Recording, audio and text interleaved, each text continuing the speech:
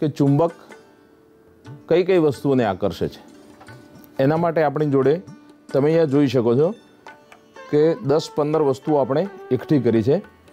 આ કાગળની ઉપર એ દરેક વસ્તુના નામ લખેલા છે. મેં અહીંયા મારી આસપાસથી જે વસ્તુઓ ઉપલબ્ધ હતી તે મેળવીને આ કામ કર્યું છે. હવે આપણે પહેલાં બ્લેડ છે, તો બ્લેડ લખ્યું છે એ ખાનામાં મૂકી દઈશું. પછી દોરી છે, એ ત્યાં મૂકશું. પેન મૂકશું, ચીપીઓ મૂકશું, કસનરી મૂકશું, બૂચ મૂકશું, સ્ટેપલર પિન મૂકશું, ઇન્જેક્શનની સિરિંજ મૂકશું, બ્રશ મૂકશું, ખીલી પણ મૂકશું, કાગળનું પૂઠું પણ મૂકશું, મીણબત્તી પણ મૂકશું. ત્યાર પછી લોખંડનો ભૂકો લખ્યો છે, ત્યાં લોખંડનો ભૂકો પણ થોડોક રાખશું.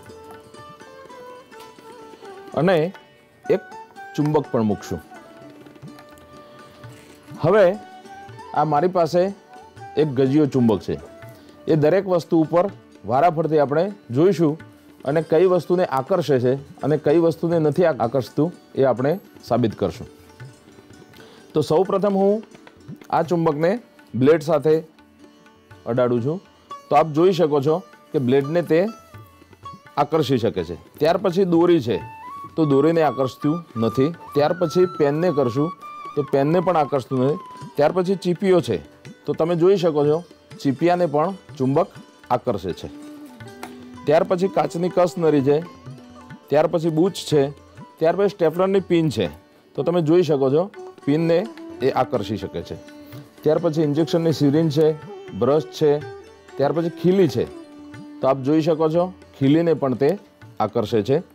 ત્યાર પછી ફૂઠું છે, મીણબત્તી છે. ત્યાર પછી લોખંડનો ભૂકો છે. તો તમે જોઈ શકો લોખંડના ભૂકાને પણ આકર્ષે છે.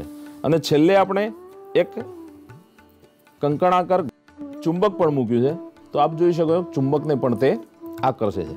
આ ઉપરથી આપણે કહી શકીએ બ્લેડ, ચીપીઓ, સ્ટેપલર પિન ખીલી, લોખંડનો ભૂકો વગેરે. એટલે કે જે જે વસ્તુઓ લોખંડમાંથી બનેલી હતી અથવા લોખંડની હતી એ દરેકને ચુંબક આકર્ષે છે.